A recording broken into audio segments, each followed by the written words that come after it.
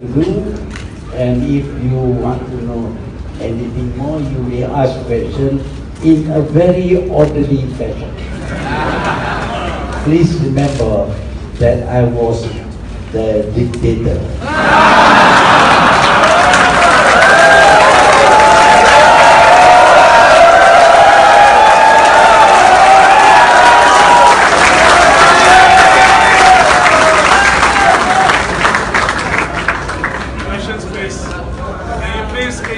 uh, call your name? Can you please state your name and, uh, your media house, please? Yeah, yeah, yeah. Uh, Tun, what kind of, what state of finances are you going to inherit from the previous administration? Because you talked a lot about corruption during your campaign. Horrid. Horrid finance, financial, financial problem. This Bank Negara, which says that the total amount owed by the government to banks and other creditors total up to about 800 billion. But I also know that this does not include the total figure. Some hidden figures were there, and uh, I believe that saying that we owe 1 billion ringgit uh, is not 1 trillion ringgit. It's not an exaggeration. We will have to attend to that. We believe that we can get most the one MDB money, right? Because we know you have the money in America, in Singapore, in uh, uh, in Switzerland, in probably in Jho Low and in. we have a number of people who have expertise in this area. Uh, we have to attend to them.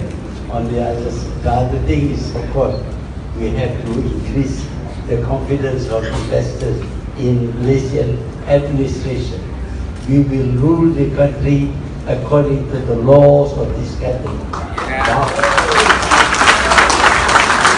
We also intend to abolish laws which are oppressive and unfair.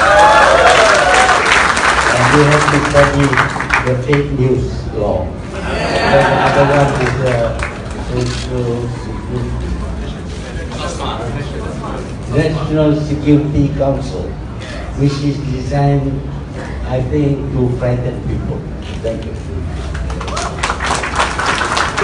Yes, the lady in the sky. Yeah. Hi, Madam Chair, Hannah from The Guardian. Um, I wonder what the maximum amount of time you will stay, you can stay as Prime Minister before you will hand over power to Anwar. The maximum term you can potentially serve. I know.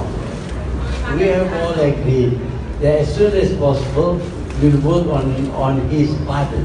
He's going, he's due to be released very soon. If we can expedite that, we'll do. But we want to give him a full, get for him a full pardon from the king. And if not, he said he will be free to indulge in politics to his heart's content. But Do you have a maximum time that you will serve as Prime Minister? Well, uh. I think I have some uh, experience.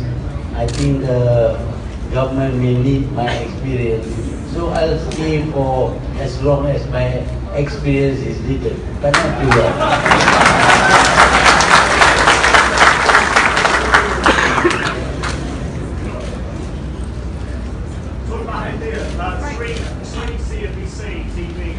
Uh, back to one MDB, uh, is outgoing Prime Minister Najib going to be part of that investigation? Are you going to investigate his, uh, the allegations surrounding his involvement in the scandal, number one?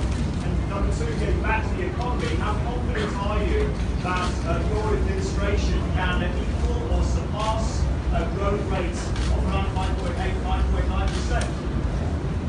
Your, the last, last part of your speech uh, for me to make out. Can you repeat the last? Yes, uh, it was about the uh, economic outlook for Malaysia. How confident are you that your administration, sir, can match or improve on a growth rates of in excess of 5%, around 5.8, 5.9%? Can you improve on that?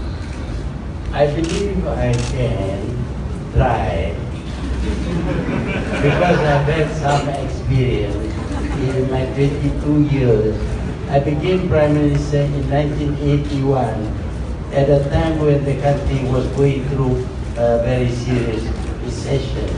Uh, it happened that while I was there, the economy decided to turn itself around. Not to me, of course. But subsequently we had problems. For example, one of the worst problems was the financial crisis caused by the currency traders.